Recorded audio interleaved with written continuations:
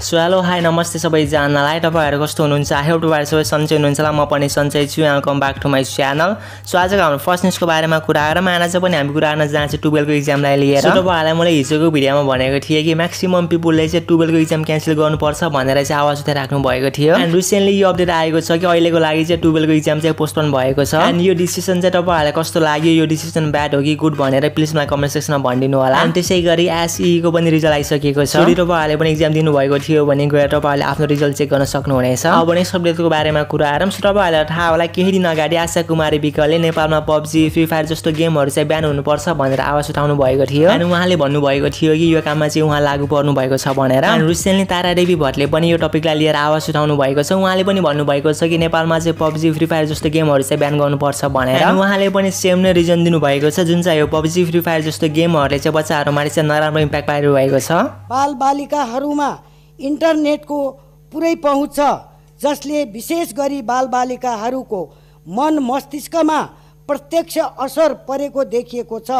समय अर्थपूर्ण र उत्पादनमुखी हुनुपर्छ। तसर्थ समाजमा असर गर्ने अपराधिक गतिविधि बढाउने र समय बर्बादी गर्ने पब्जी फ्री फायर र अन्य एप्लिकेसनहरू यथाशीघ्र बन्द गर्न सरकारको ध्यान आकर्षण गराउँदछ अनि तपाईँहरूलाई थाहा छ कि नै जब इन्डियामा पब्जी बिहान भएको थियो त्यति बेला नेपालमा पनि पब्जी बिहान हुन्छ भनेर चाहिँ हल्ला आएको थियो। अनि त्यति बेला यो पनि सुन्न आएको थियो कि यो कुरा चाहिँ कोर्टसम्म पुगेको छ अनि यसमा चाहिँ मुद्दा चलिरहेको छ भनेर। अनि यो कुरालाई ऱ्यान्डम नेपालीले पनि कन्फर्म गरिदिनु भएको छ। अनि पनि उहाँले भन्नुभएको छ कि उहाँको अनुसार चाहिँ नेपालमा चाहिँ पब्जी बिहान हुँदैन।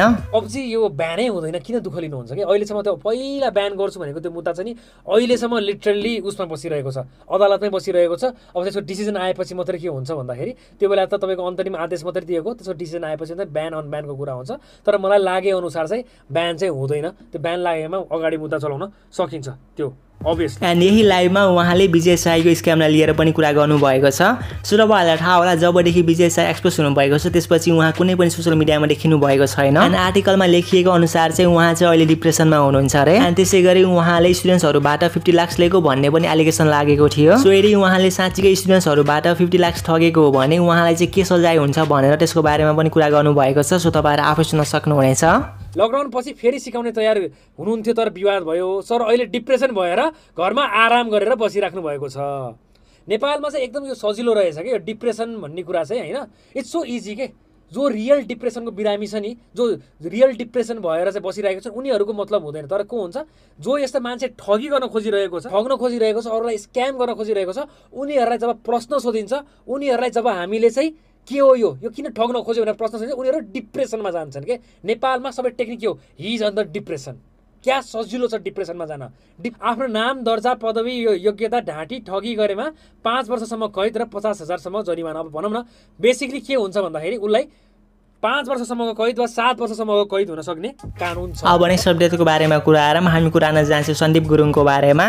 सो आज उहाँले आफ्नो युट्युब च्यानलमा एउटा भिडियो अपलोड गर्नुभएको छ जुन भिडियोमा चाहिँ उहाँले आफ्नो गोल्डन प्ले बटन र सिल्भर प्ले बटन अनबक्स गर्नुभएको छ। तपाईँहरूलाई लागिरहेको होला कि लाइक प्ले बटनहरू अनबक्स गर्नु त नर्मल नै त हो नि भनेर। बट यो केसमा चाहिँ नर्मल छैन किनभने तपाईँहरूले देख्नु भएको होला उहाँको च्यानलमा चाहिँ only hundred K plus subscriber छ। युट्युबले चाहिँ तपाईँलाई गोल्डन प्ले बटन त्यति बेला पठाउँछ जब तपाईँले चाहिँ आफ्नो युट्युब च्यानलमा वान मिलियन सब्सक्राइबर्स कम्प्लिट गर्नुहुन्छ। अनि अहिले तपाईँहरूको मनमा यही क्वेसन उठेको होला कि उहाँले चाहिँ वान मिलियन सब्सक्राइबर्स कम्प्लिट नगरिकन उहाँले चाहिँ गोल्डन प्ले बटन कसरी पाउनु भयो भनेर। सो डोन्ट वरी तपाईँहरूलाई म एक्सप्लेन गरिहाल्छु। सो बेसिकली उहाँले आफ्नो सिल्भर प्ले बटनको एप्लाई गर्ने बेलामा उहाँले थाहा पाउनु भएको रहेछ कि क्रिएटर अवार्डहरू पनि किन्न मिल्छ भनेर। त्यसपछि उहाँको मनमा यो सोचाइ आएछ कि यदि उहाँको च्यानलमा हन्ड्रेड के सब्सक्राइबर्स मात्र भए पनि उहाँले चाहिँ like golden play button diamond play बटनहरू चाहिँ किन्न मिल्छ कि नै भनेर। अनि उहाँले काहीँ एक्सपेरिमेन्ट गर्नको लागि अरू आफ्नो मनको सन्तुष्टिको लागि चाहिँ ट्राई गर्नु भएको रहेछ। बट उहाँको बाटो नमिलेर उहाँले चाहिँ आइएम सेगालाई कन्ट्याक्ट गरेर उहाँको बाटो चाहिँ ट्राई गर्नुभएको रहेछ। यदि तपाईँहरूले आइम सेगालाई चिन्नु हुँदैन भने उहाँ चाहिँ नेपालकै फर्स्ट इन्डिभिजुअल युट्युबर हो जसले चाहिँ आफ्नो YouTube channel one million subscribes complete गर्नुभएको छ। आइम सेगा चाहिँ उहाँको फ्रेन्ड हो सो त्यस कारणले गर्दा उहाँले चाहिँ आइम सेगाको बाटो एप्लाई गरेर चाहिँ आफ्नो गोल्डन प्ले बटन मगाउनु भएको। हो फाइनली उहाँले पाउनु पनि भएको छ। यदि तपाईँहरूलाई अनबक्सिङ प्लस उहाँले चाहिँ कसरी एप्लाई गर्नुभयो भनेर डिटेल्समा जान्न मन लागेको छ भने म उहाँको भिडियोको लिङ्क डिस्क्रिप्सनमा राखिदिन्छु र बाटाइ गरेर हेर्न सक्नुहुनेछ। अब नेक्स्ट अपडेटको बारेमा कुरा आएर हामी कुरा जान्छौँ ब्लगको बारेमा। सो रिसेन्टली उहाँले आफ्नो नेक्स्ट राइडको अपडेट दिनुभएको थियो। थियो जुन राइडमा चाहिँ सबै बाइक्सहरू अलाउड छ एन्ड त्यसको लागि उहाँले फर्म पनि फिल गर्न दिनुभएको थियो। हिजो चाहिँ उहाँको एक्सिडेन्ट भएको रहेछ एन्ड आइम नट स्योर उहाँको चाहिँ ठुलो एक्सिडेन्ट भएको कि सानो एक्सिडेन्ट त्यस कारणले गर्दा मेबी उहाँको राइड इभेन्ट चाहिँ पोस्टपोन पनि हुनसक्छ। यसको रिगार्डिङ अहिलेसम्म उहाँले केही पनि अपडेट दिनुभएको छैन बट यदि उहाँले दिनुभयो भने तपाईँ इन्फर्म गरिहाल्नेछु। अब राइड अर्गनाइजको बारेमा कुरा हुनेछ भने सोलाक्पा शेर्पाले पनि चाँडै आफ्नो सब्सक्राइबर्सहरूको लागि चाहिँ राइड अर्गनाइज गर्दै हुनुहुन्छ। अब नेक्स्ट अपडेटको बारेमा कुरा आएर हामी कुरा जान्छौँ गणेश जितेको बारेमा।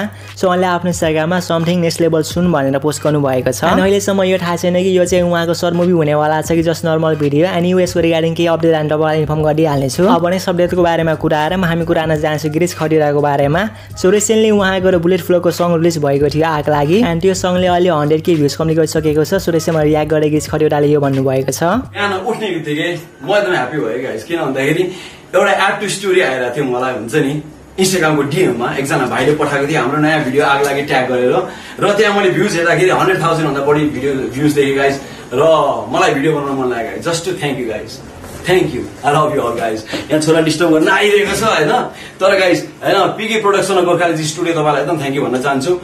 तपाईँले गर्दा अब गाइज तपाईँले सेयर गर्नुभयो लाइक गर्नुभयो कमेन्ट गर्नुभयो डाउनलोड गर्नुभयो होला मोबाइल फोनमा एकचोटि फेरि देखाइदिउँ यो सपोर्ट एकचोटि फेरि हेरिदिउँ फेरि एकचोटि लाइक गरिदिउँ फेरि एकचोटि सेयर गरिदिउँ अनि फेरि भ्युज बढ्दै जान्छ guys thank you so much guys life is beautiful man म तपाईँलाई धन्यवाद भन्न चाहन्छु। त्यही हो। ओके आजको लागि यति नै थियो and big shout to gaming channel Nikesh Giri mister Bipans only fun and Isan Sherchan Thakali for commenting on my video thank you so much for watching my video hope तपाईँहरूलाई मेरो आजको video मन पऱ्यो होला।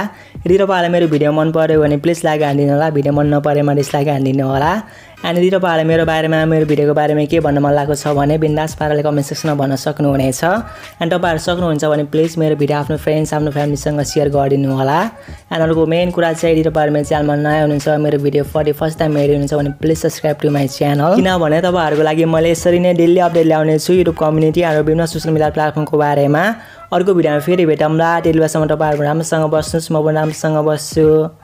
Love you all keep smiling